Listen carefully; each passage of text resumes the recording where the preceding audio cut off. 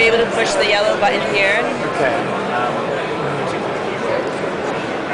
and it pulls up information of the scene. So if you didn't know, you know, the music that was playing, tells you that this music's playing. The movie IQ is uh, It's called like Movie IQ. Is part- um, Sony Pictures Home Entertainment Ah. has picked a handful of titles for this for this functionality.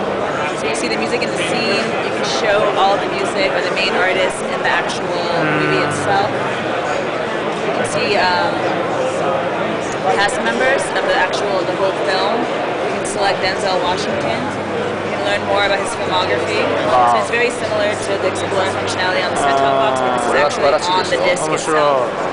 初めこの映画をまず映画館で見てすごく楽しむじゃないですか、はでまあ、このアクターが例えば私すごく好きだけど、映画館ではこの人この人も好きだけど、はいはい名前もわからないし映画館で隣の人にこの人なんていう人だって言えないですよね、はいはいだから家帰って DVD を買ってそしてこうやってソニーのデバイス買ってこうやって楽しむんですよそうすると出てくる人の名前ボンボンボンボンが出てくるし彼の履歴もしたらそしたらまた.映画をまた見たいとかすごく簡単に次の映画選べますしユーザーもすごく嬉しいと思うしネットせず This is、uh, so internet、uh, connection Yes, necessary Live, BD Live, Live internet そうですねここの今回のこのバージョンはあのインターネットでやってるみたいですねまあ今後はやっぱりインターネットになるんでしょうねこうやってね So you can buy a Netflix streaming.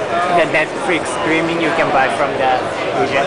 Um, eventually, it, it could be added in. Right now, it's more static. Um, I think eventually they're going to evolve to have Going. additional linking to the Okay. phone, like similar to what was done on the Ah. set-top まあ box. 将来的にはそうなるかもしれないですけどそれは、まああの結局はソニーならソニーパナソニックならパナソニックサムソンならサムソンが決めることですからねどどういうふうにつなげていくかどういうふうにそ収入を得るのか得な得ないのかっていうのをね今のとこ Especially John Travolta's in the scene.